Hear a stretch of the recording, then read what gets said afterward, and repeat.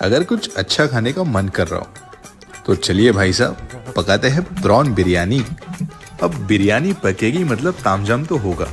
अब तामझाम कितना करना है, ये आपकी इंडिविजुअल चॉइस है। और तामझाम कर लेना भाई, क्योंकि लगना चाहिए बिरयानी पक रही है।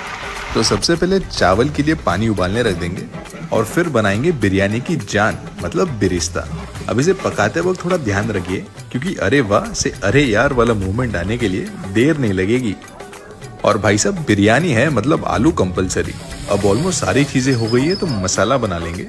और देखिए, फ़िक्र ना करें, आपके लिए मैंने कैप्शन में सारी चीज़ें लिख दी है। वैसे कई अलग तरीके के बिरयानी बनते हैं, ये वाला तरीका मुझे पसंद है। और अगर आपने ऐसी बिरयानी कभी बनाई नहीं तो बना के देखिएगा। और याद से थोड़ी ज़्यादा बनाइएगा, क्योंकि इसकी खुशबू जब मोहल्ले में आज़ाद घूमेगी तो आस पड़ोस वाले तो घर पक्का आएँगे। और असली खाने का मज़ा तो वो लेयर करने में। तो यहाँ पे मैंने दो लेयर लगाए थे। जिससे कि ये जो चावल है, वो सारा मसाला सोख ले। इसके अलावा ऊपर से थोड़ा केसर, दूध और बिरयानी मसाले का झोल। ये करने से आपके बिरयानी में अलग रंगत आएगी।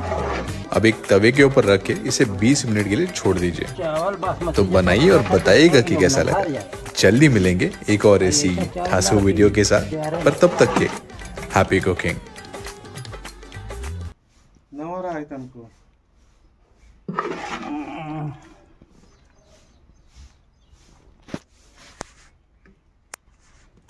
अगर काम किए तो करता तो ना रे बाबा।